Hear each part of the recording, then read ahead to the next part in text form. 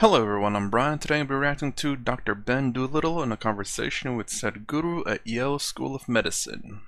So this has been a request. I've been putting it off just a little bit because it's an hour and about 45 minutes long. So I'm assuming it's going to be talking about medicine, not too sure, but let's go ahead and give this video a shot.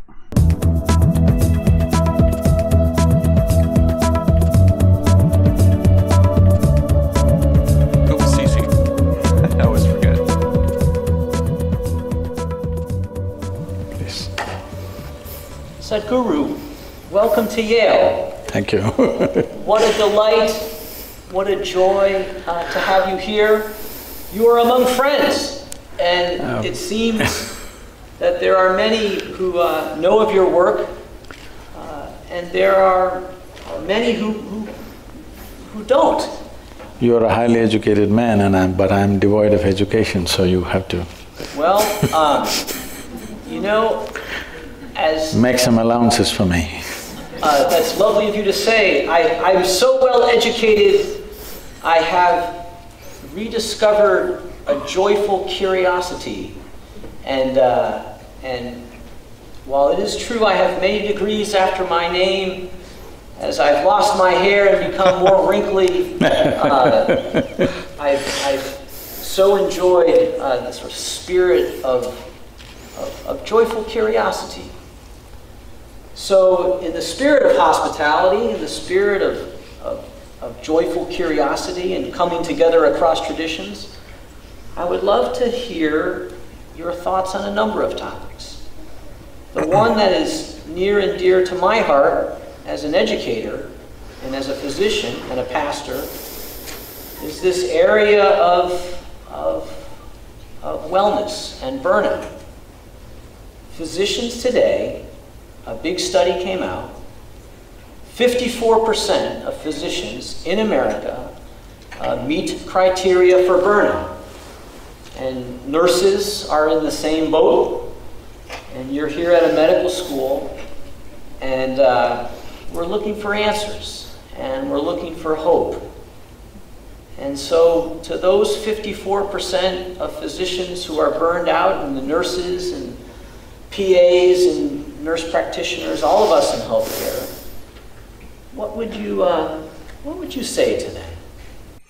Hmm. I did hear something like that, and I mean it kind of makes sense when you're just doing the same thing over and over again. I know most people who get into jobs that they like, you know, they they really enjoy it at first for the maybe in the first few years, but after a while it just becomes redundant, unappreciated they just put up with a whole bunch of stuff and I think that's the case. It's just the fact that it's they're they're they're really enjoying it at first and then they saw the reality of it, which is unappreciated work for the most part. Um, redundancy or sorry, uh, I guess you could say kind of like redundancy where they're just doing the same thing over and over and over again. Nothing really changes, a few, you know, excitements here and there but I wonder, I am curious. I mean, I'm sure when they first started doing their job, they really enjoyed it, but again, just redundant stuff or just doing the same thing over and over every day and being unappreciated, I, am guessing so it really burns them out. If we have to bring health, either to ourselves or to others, one fundamental thing is you bring a very profound sense of wholeness into you, the various dimensions of life that we are. All of it is in sync and functioning well. It's sad to hear that physicians are in a state of burnout. How would they cause health? They could sell more medicine, but they cannot cause health if they are in a state of burnout. Now we're seeing, as modern medicine progresses, comes out with miracle after miracle, research, all kinds of things. But people are not getting healthy. More people are getting sick than ever before. That's because we're lazy, we don't take care of our health, we can't afford healthy food, we don't exercise. and everyone wants shortcuts. And with technology and everything nowadays, everything's instant, you know, except for the fact that, you know, whenever there's a Google ad, you can't skip it for at least for five seconds. but for the most part, most people are busy doing their work, busy doing something else, and they don't have time for their health. So they want quick fixes. And generally speaking, that's what want. they want quick fixes for everything too. A country like United States, which is uh, the most affluent country on the planet, which essentially means you have a choice of nourishments. You do. Every human being has a choice of nourishment. But if it's not quick, most of the ailment that you see in other parts of the world are nourishment related in some way because the needed nourishment is not there at the right time for a whole lot of people on this planet. But in a country where there is a choice of nourishment, I would say an excessive choice of nourishment, the nation is spending three trillion dollars on healthcare. This is bigger than the budgets of major nations in the world. India's economy is, and is around three trillion dollars. You're spending that much on healthcare of a quarter million people. This shows somewhere we have missed health.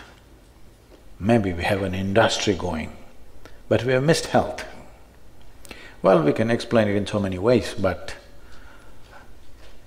doctors being under burnout, everybody thinks their profession is the most difficult one. If… if any individual human being is creating something that they really care for, there would be never any kind of burnout. I will say, I think most doctors and nurses genuinely, when they first started out, really wanted to help people. Now, mind you, I guess there's a maybe some people really deeply believe in that that maybe they never get burnt out but most people generally want to or most people who get in this field want to help people and i think it's just the underappreciation the repetitive nature of their job maybe the strain the the how do i say the work constraints kind of all builds up into this burnout but I think, I have a feeling Sadhguru is going to say something that even with all that, they will still not get burned out.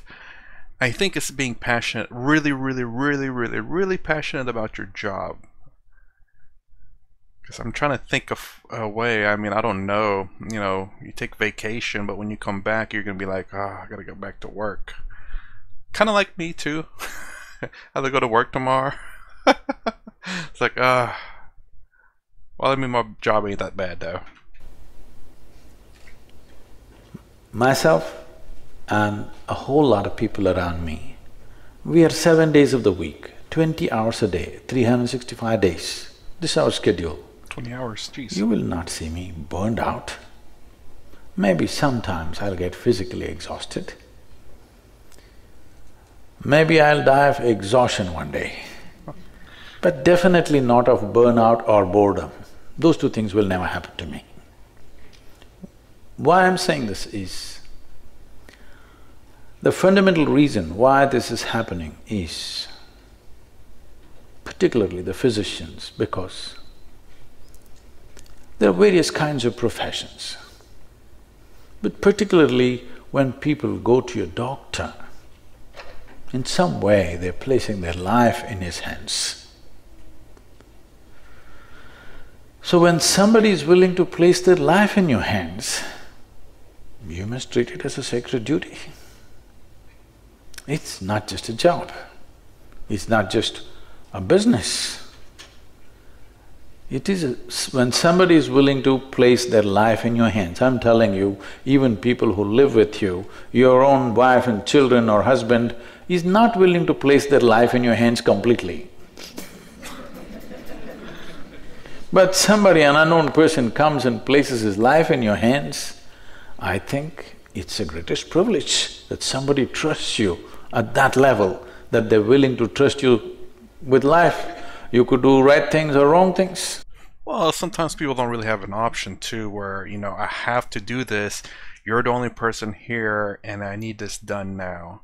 But I get what he's saying. Absolutely. I mean, yeah. even if you're the only person there, he is still trusting you with his life, though. You know, I get it. Knowingly or unknowingly, because nobody has figured the human body absolutely. All right, we know it to some extent. So you may do any number of wrong things, but they placed their life into your hands. I think traditionally it was said like this in India. In any given society, if education, medicine and spiritual process, if it gets commercialized, that society will go down the drain. I think we are doing this to the entire modern world. All three are becoming commercialized. There is nothing wrong with commerce. Commerce is a, a transaction of give and take. You give me this, I'll give you that. But there are some things which cannot be handled as just give and take. If you bring this aspect of transaction into spiritual process, into education and into medicine, then it turns ugly and that ugliness will definitely burn you out one way or the other. Above all, what people are experiencing is burnout is, first of all, they're doing something that they don't care for. If they were genuinely doing something that they truly care for, there would be no burnout. The more opportunity you get to do it, the better it would be, isn't it? I will say yes. If if uh, if you're doing something you don't really care for, you're going to get burned out a lot quicker.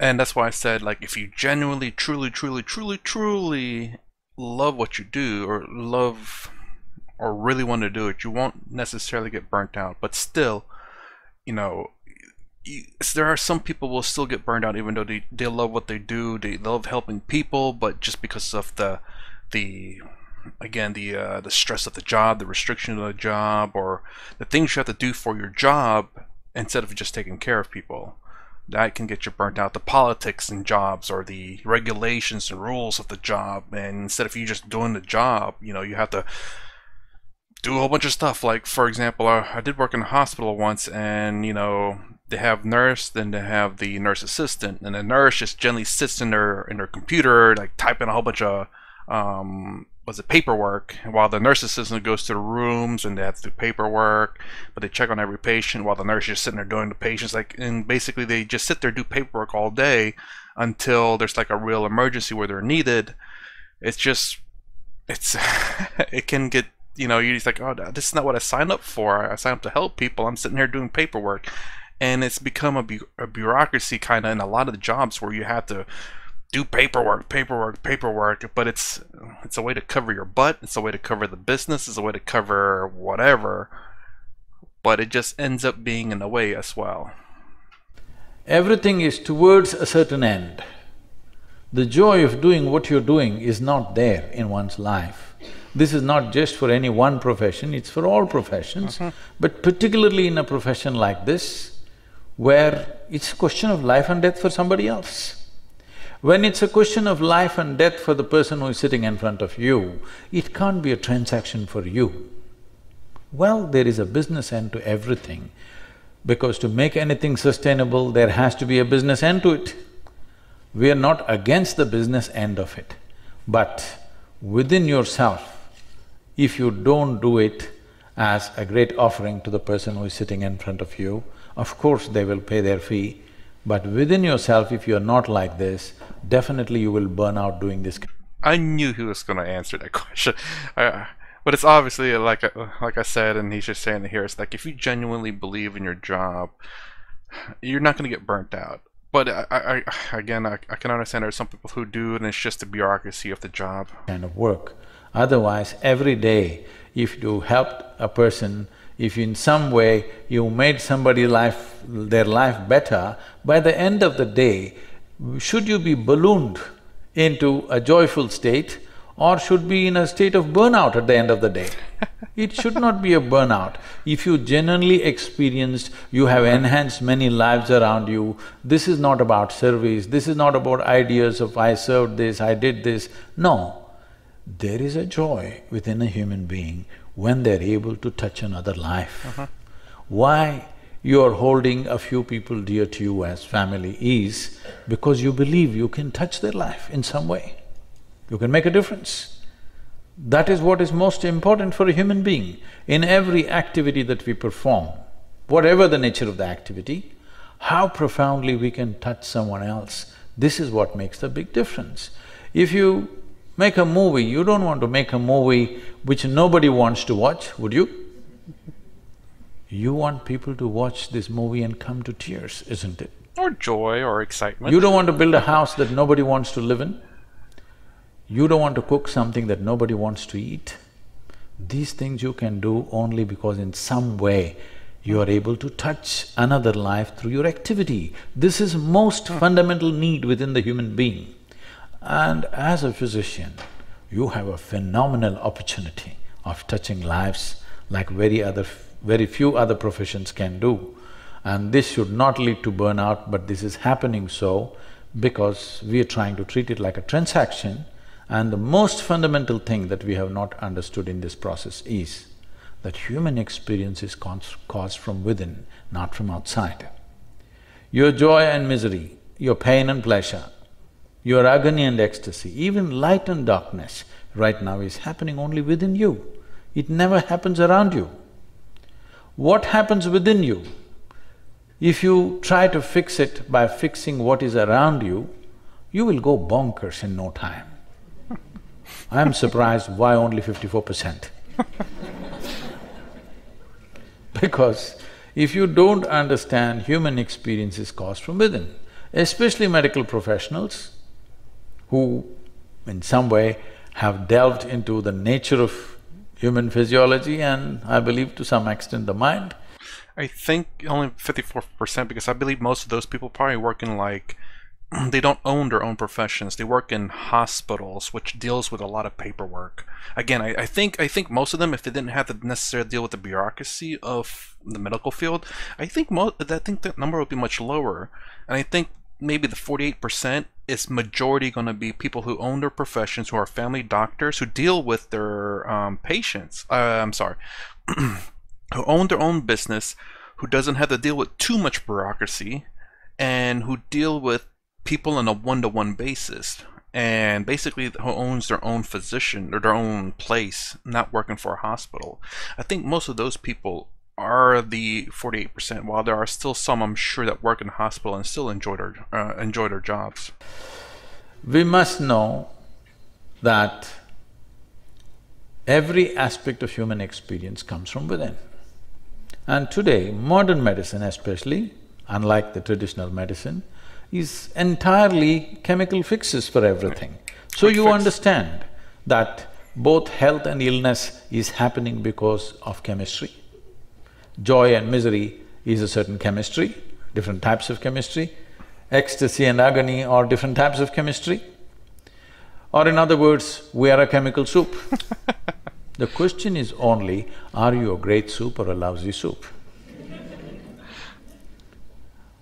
Now if I give soup making ingredients to all of you, do you believe all of you will come with the same kind of soup? Nope, different kinds. It depends on how you cook the soup, what ingredients you add first and foremost, and how much of those ingredients you add. This could be very salty or very peppery, and I am familiar with both. Hmm? You will come with hundred different varieties of soups. So there is something called as the skill of soup making. All of us have come with the same fundamental ingredients of life. See in how many ways we have become and only fifty-four percent are getting burnt out. Handling life so wrong, hundred percent should be burnt out. So let's talk about making soup. so… Do, no, don't go into this area, I'm a very good cook. Okay. so, talk, uh, so this soup of life, if you will. Um, so, you know, uh, tonight there is a nurse or a physician who has come home and they told a family member that their loved one just died. Or they treated a child uh, who's undergoing chemotherapy or they were in a clinic where they're taking care of someone who you know doesn't have enough insurance to cover that medication. And so those good folks have come home and their spirits are broken. And, uh, and they love what they do. I, I, I, I, think burned out physicians love what they do. Mm-hmm. They do. Uh, and I like that metaphor of soup. What can we do? Uh, and so, what, what can we do? And I don't know if he's gonna Sorry, I gotta reposition my legs. um, so, I think I think here people need to real. Uh, well, I'm acting like I know everything. no, but I mean, this is I've thought about this a little bit, and I think what people don't realize, the people who work in this field, is people who help people and see these things.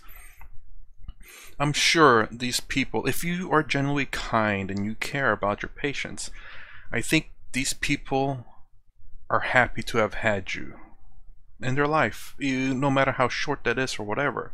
That if it weren't for you, they would be feeling terrible. Like there are some people, I would say like uh, St. Jude's Hospital. they handle a whole bunch of children, and even though some of them don't make it, I'm sure they're grateful for seeing someone that cares about them and shows care to them to show what humanity can be. Just because they have passed away and there was nothing you can do, doesn't mean you didn't affect their lives in some way. Again, just showing them some kindness, showing them that you care, makes a huge difference to that person. So no matter if their life turned out not in the best way, but because that person was there showing them some kindness, they have had a better life than I think they could have had. So I think if a lot of physicians, nurses, people who work in the medical field, and people who just work with people in general, and who have this thought in their mind that, uh, you know, I've seen so many people die, I can't do this anymore, I tried so hard. I think if they realize that sometimes they are the last people they see in life and showing them that kindness, showing them that, that you care, it's actually a very good thing. The last thing they see is you being kind and caring to them. That is significantly better than seeing nothing at all. Or seeing anything else, honestly. So I hope they come to realize that.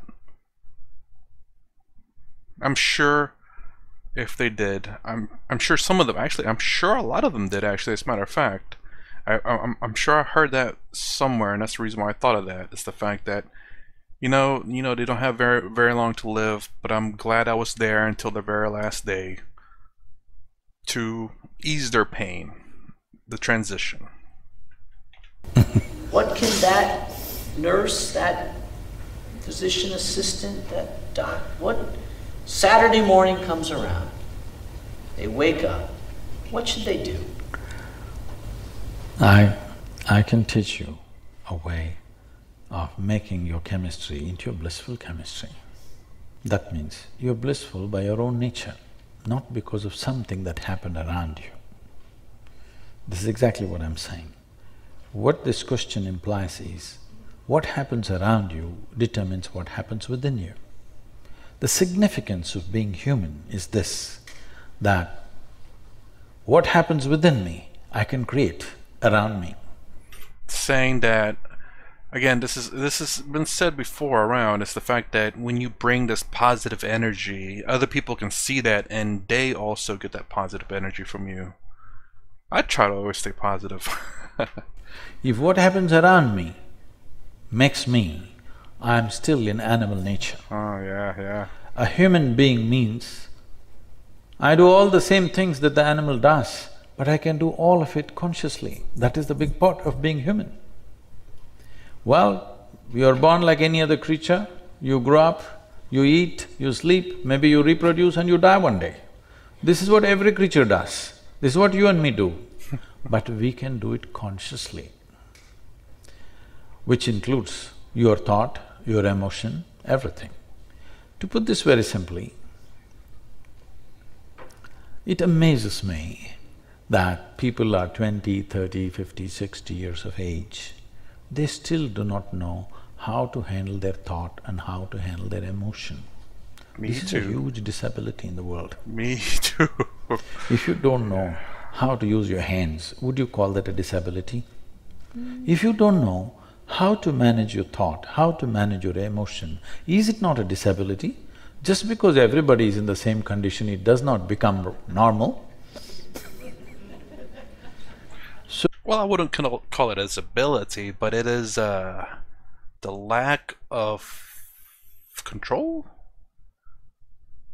If you have the ability to use your hand but don't know how to use it, I don't think it's called a disability. That's a that's disability means you like your hands cut off and you don't know how to use it. Well, that, that you know hand cut off part that's all it needs to be a disability. You you can't use that hand obviously, but if you're able to use the hand but you just don't know how to pick up stuff, you can learn how to pick up stuff still. So I don't think that's called a disability, but I get what he's saying. I get what he's saying. So essentially, you are, you have made a choice of dealing with people who are sick or dying. It is a choice. And it is a privilege that those who are unwell, being unwell means you are no more hundred percent on your feet. You need somebody's help. Such people and those who are dying in some way, they're willing to trust you and put their life into your hands. It's a great privilege. Well, in this, there are many things to do as you gave examples that you have to convey something unpleasant to somebody. Sometimes you're not able to treat them because either you have no time or they have no money or whatever. These are there. I'm not questioning this.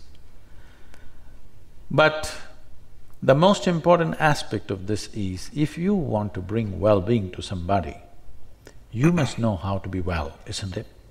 Otherwise, how would you do it, I'm asking? It's kind of like saying, you know, if you want to help other people but you can't help yourself, so how are you supposed to help other people? If you are a drug addict yourself, how can you get someone else not to be a drug addict, drug addict when you are a drug addict? exactly, wonderfully, yeah, exactly. You have to be. I think I will say this, and I'll move on. Uh, if you were a drug addict and then you quit it, you have, I think, a better understanding on how a drug addict thinks and how to help them out of it versus someone who was never a drug addict, though. How? How would you create well-being to someone when you do not know how to be well? What this implies is, if I have to be well, the world has to be perfect. Well, you're not going to be well.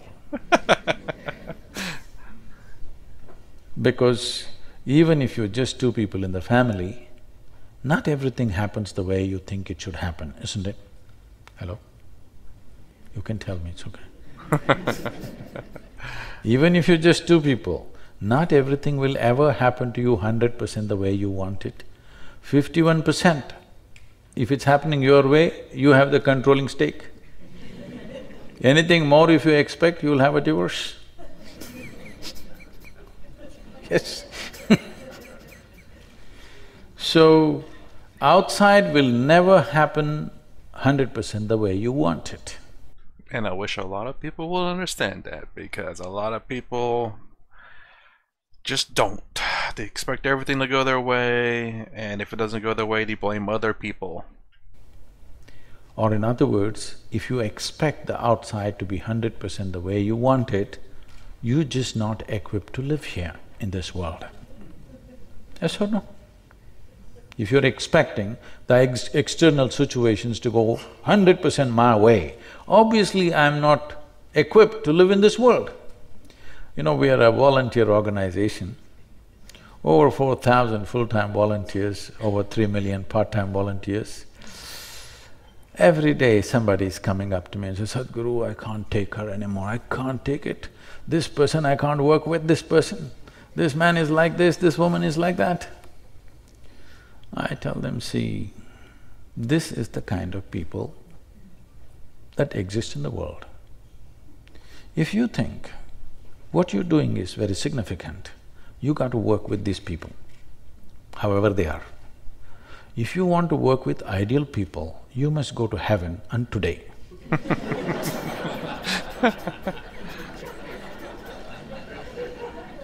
These are our realities. If you truly see, genuinely see that what I am doing is significant, it's of significant, it's significant enough to make difference in lives around me, now you have to do that work. The problem is not of the nature of your work. What the heck happened there? Okay. You just ask anybody, from the topmost job down to the most menial job, everybody complains about stress. So stress is not about your job, I must tell you this. A few years ago, many years ago, when I first came to United States, wherever I went, people were talking about stress management. I couldn't understand this. Because in my understanding, we manage whatever is precious to us, our family, our wealth, our business, our money. Why would anybody want to manage stress? it took me a while to understand, people have concluded that stress is a part of their life. Stress is not a part of your life, it's just your inability to manage your own thought, your own emotion, your own energies and your own body. If you knew if your mind took instructions from you, would you live in stress or in bliss? Please tell me. What's your choice? Sure. Yes, such a simple thing is not happening because your mind is not even taking instructions from you. If your intelligence turns against you, who the hell can save you? so, this anxiety, this stress is not about the job, it is just that our education systems are such, they're telling you how to conquer the world, you know, how to break an invisible atom, how to go beyond space, but they're not telling you a thing about this one. This is the most complex, if you want to call it a human mechanism, this is the most complex and sophisticated me mechanism you have seen. Yes? Yes. As a doctor, you know but I'm asking, even the doctors, have they read the user's manual? How to use this? No? Just by accident, something. When you live by accident, anxiety is natural. So, I was really interested in the title of your book, Inner Engineering, a Yogi's guide to joy. And uh, those are some words that you don't usually see often so close together. I'm thinking about engineering and joy. And joy. and, and a yogi. There are some, and a yogi. And a yogi, right. Engineering, yogi, you know, and I and I like that word engineering. I you need to know there are some really uh, some of the top engineers at the university are in the audience tonight. Yesterday was the engineers… Right, right there. Yesterday was the World Engineers Day. Yeah. So, what's the what's the theme of what's the what would you say is the message of this? I mean, I think you're getting at that. Inner engineering, a yogi's guide to joy. What what does that mean? If I were to answer that question, I would say it's a way to understand your emotions, your needs. I think that's emotions and needs.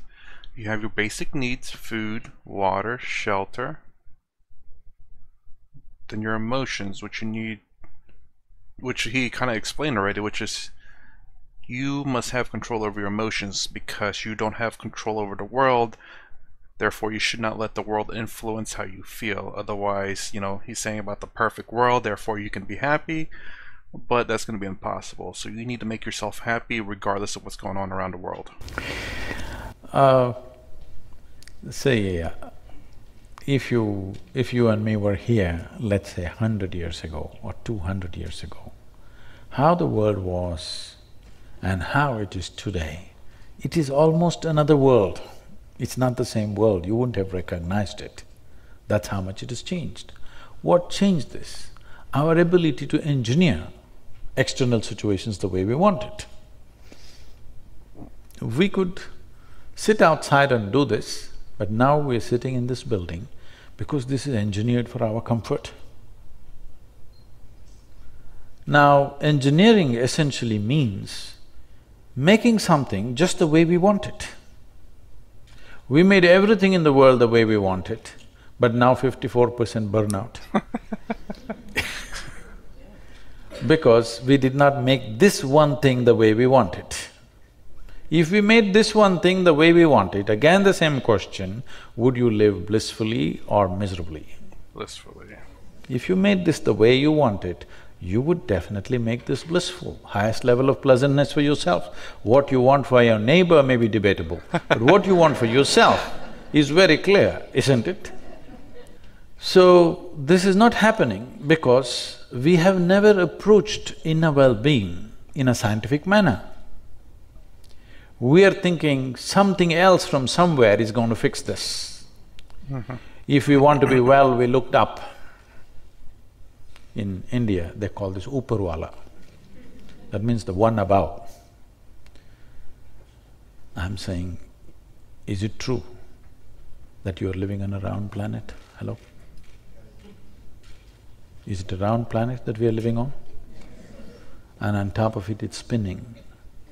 If you look up, you're invariably looking up in the wrong direction, isn't it?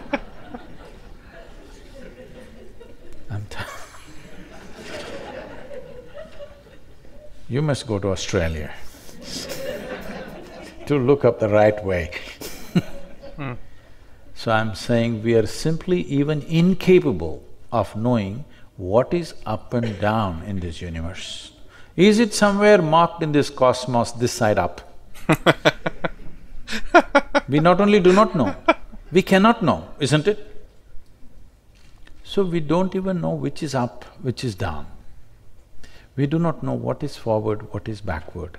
We really do not know what is east, what is west. For convenience, we made up things. Relative to whatever, we can say what is north and south, east and west, but that's just relative to something. But yes, I get what it's saying. But there Kind is one thing that you can know right now, there is a perspective, there is inward and there is outward. We have been just busy fixing the outside. You fix the outside as much as you want, all you will get is comfort and convenience. You will not get well-being. If well-being has to happen, you have to engineer your interiority the way you want it. Only when this becomes the way you want, now this will be joyful. If outside becomes the way I want, there will be comfort. You have to admit this. Never before in the history of humanity, any other generation knew the kind of comforts and convenience that you and me are enjoying right now, yes or no? Huh? We are the most comfortable generation ever, but we are whining like crazy. Let's, let's talk about Alright, just because I have a feeling it might run long, I gotta pause it right here because the last video uploaded hasn't done, got done processing. It's been a few days. I have to try to cut these things short, and I'm absolutely loving this so far. So far, everything I've heard of that uh, I've of previous Sadhguru videos. Now I can't wait to get into further into what else he has to say. So the next one's gonna be inner life and outer life. Inner life and outer life. The outer life you can't control. Inner life is you have absolute control of. That's all I'll say so far. Well, anyways, that's the first part of this of Dr. Ben Doolittle and a conversation with Sadhguru at Yale University, Yale School of Medicine. Sorry, not university. If you like my content, please consider subscribing. Thumbs up, thumbs down down below. Thanks for watching. I'll see you in the next vid.